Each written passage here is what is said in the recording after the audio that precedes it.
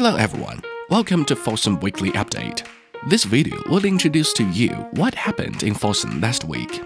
On the afternoon of 13th June 2023, it was announced at the China ESG released and grand ceremony that Fosun was successfully listed among China's top 100 ESG listed companies, becoming an ESG leader that ranked 5th overall and first in the composite industry.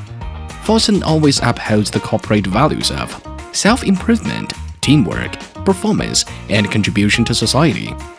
Over the years, it has continued to cultivate in the field of ESG and to advance in the field of public welfare, such as global emergency relief, rural revitalization, health, education, culture and art, and caring for children and adolescents, striving to create happier lives for families worldwide. In an exclusive interview with the China Food and Drug Network, Chen Qiyu, co-CEO of Fosun International, emphasized the importance of renewal in the path of biopharmaceutical innovation, stating that it is the way forward for Fosun Pharma to thrive in the health industry. Fosun Plaza hosted annual launch of Sing for Hope the sound pianos. Of music filled this plaza and atrium in Lower Manhattan this week. A diverse array of talent, including choral groups from performing arts schools, an all female drum marching band from Rwanda, even a Broadway star,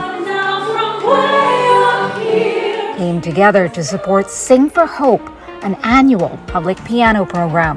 The global nonprofit started its piano initiative in 2010, making the instruments available in public spaces all over the world. The organization has collaborated with the New York office of Chinese company Fosun since 2015 to unveil new one of a kind pianos created by local city artisans. This year, there are 20 new pieces. An executive with Fosun says seeing the joy the annual event delivers is emotional. It feels great to be able to give something back. People just let their guards down. There's a wonderful healing sense where people just forget all their inhibitions, they come together and express themselves.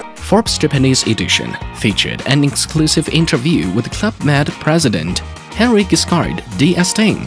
Henri stated, Club Med has a strong image as a beach resort, perhaps due to the word Mediterranean in the company name, but it is also a pioneer in family ski resorts, having opened its first mountain resort in Leysin, Switzerland in 1956.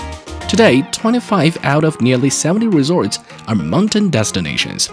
In the interview, Henri highlighted the significance of the Asian market, the support of Fosun, and the vision for future expansion, solidifying Club Med's commitment to the region that its position as the world leader in all exclusive and experiential premium holiday for families and active couples.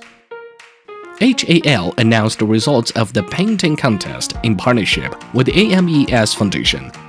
The collaboration aims to support the AMES Foundation's mission of making animal welfare a profitable and scalable product, thus preserving wildlife, protecting biodiversity, and making Africa a safer place for animals. The interventional cardiology and cardiac imaging teams of Hospital da Luz Lisboa performed the first intervention to repair severe insufficiency of the tricuspid valve through catheterization with the Pascal device. This is an innovative treatment that was launched in 2022 and is rapidly expanding in Europe and the United States. The Pascal system allows repair of the tricuspid valve through ultrasound-guided catheterization without surgery.